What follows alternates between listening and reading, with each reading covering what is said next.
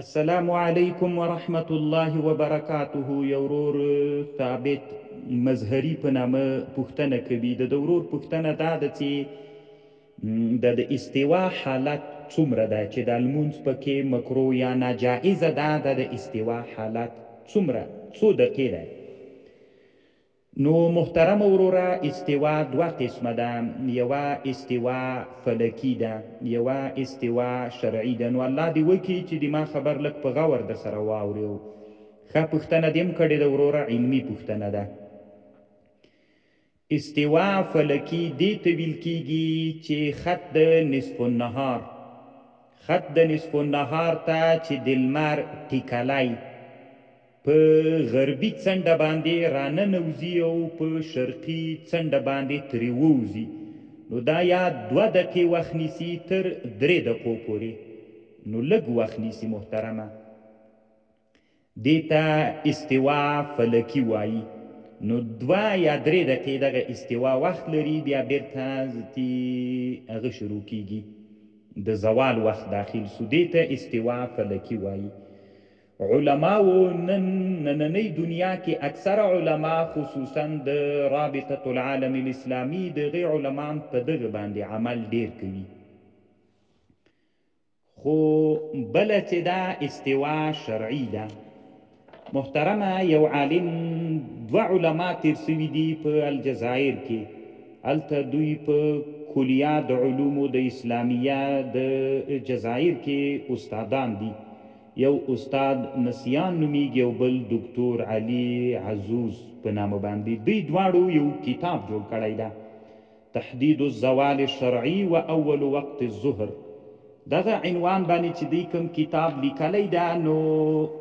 ډیر ښه علمی بحث یې په دې باندی کړی ده نو دوی وایی چې استوا فلکی خو دوه یا درې دقیقې وخت نیسي بل استوا شرعی ده استوا شرعي محترمه هغه وخت ته ویل کیږي چې هغه زوال معتبر زوال منځ ته راسي د قران او د حدیث او د لغت او د فقه د کتابونو نه استدلال کړی ده نو دا بیا چې دا وروره لږ وخت ډیر نیسي خو ته دې ما خبر واوره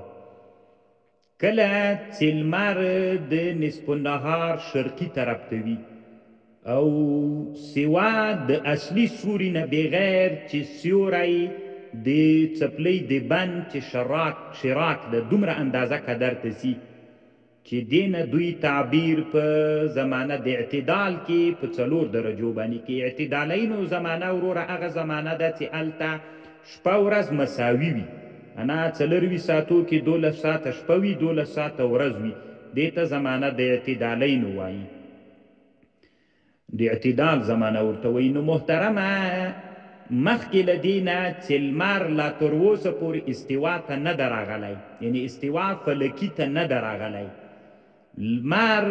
لا تر اوسه پوري د خط د نصف النهار شرقي طرف ته ده خو چې استوا فلکي ته راداخله کېږي څلور درجې مخته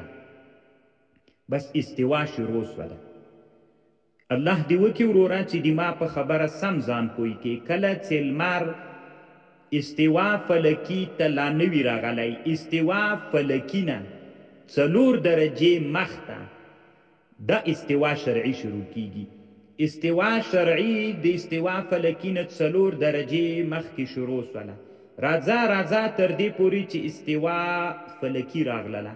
له استوا فلکي نه به بیرته د غرب طرف ته لمر اوړي له خط نصف النهار نه به غرب طرف ته اوړي چې څلور درجې دې غرب طرف ته مزل وکړي نو دا دومره اند دغه څلور درجې له استوا فلکي نه مخکې، څلور درجې له استوا فلکي نه وروسته چې اته درجې شولې، نو اته درجې دا د استوا فلکي زمانه شوله محترمه.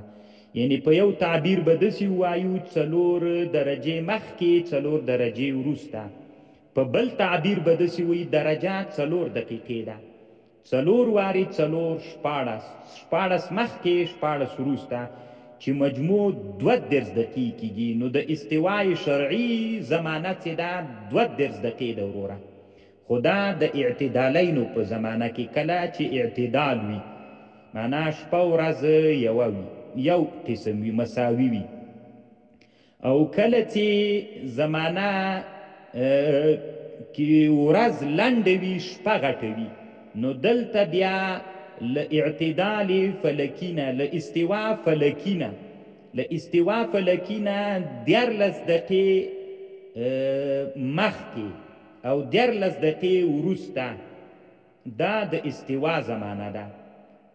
دیارلس دقیقې له استوا فلکي نه مخ کې دغه زمانم استوا ده دیارلس درجې له استوا فلکي نه د غرب طرف ته دام استوا زمانه ده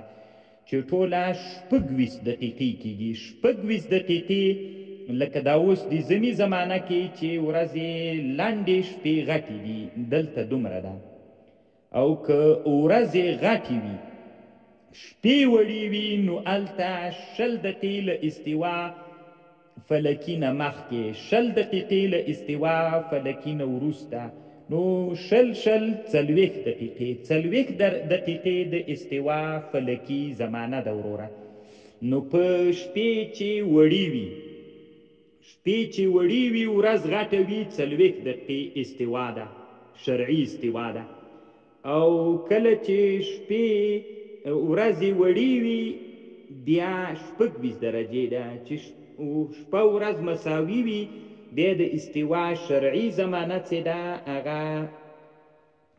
تقریبا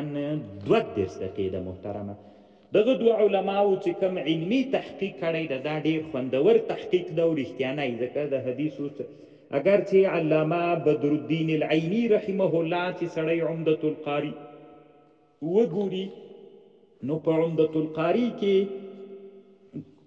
نه دسې معلوميږي چې د عمدة القاري د علامه نه د بنايې کې بنايه د علامه بدرالدين العيني شرح په هدايه باندې هغې نه دسې معلوميږي چې مراد له استوا نه استوا فلکي مراد ده نو زه چې څومره فکر کوم محترمه ما مطالعه کړې دغه استوا شرعي باید معتبره سي ځکه کوم عبارتونه چې دغو علماوو راوړي دي او تحقیق یې په دې مسله کړی یو اکادمیک تحقیق یې کړی ده نو هغه وروره د استوا شرعي ده الله پاک دې روغ جوړ لره.